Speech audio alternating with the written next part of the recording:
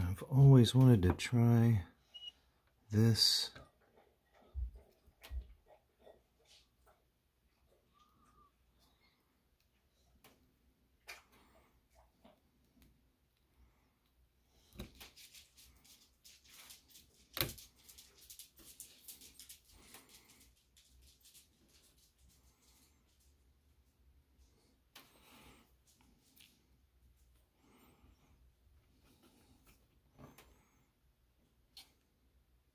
That's pretty daggum nasty.